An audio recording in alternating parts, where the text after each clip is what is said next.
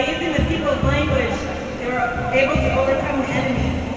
And because of this, we live in a really good way today. We're enduring, we're strong people, and that we're living in a Hojo, very good, harmonious way today. Yeah.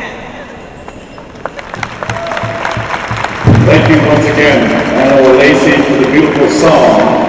I would like to inform everybody here that there is an exhibit the Code Talker exhibit is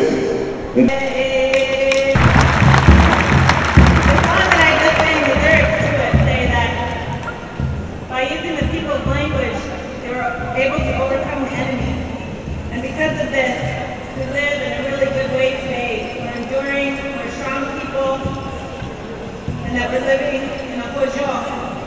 it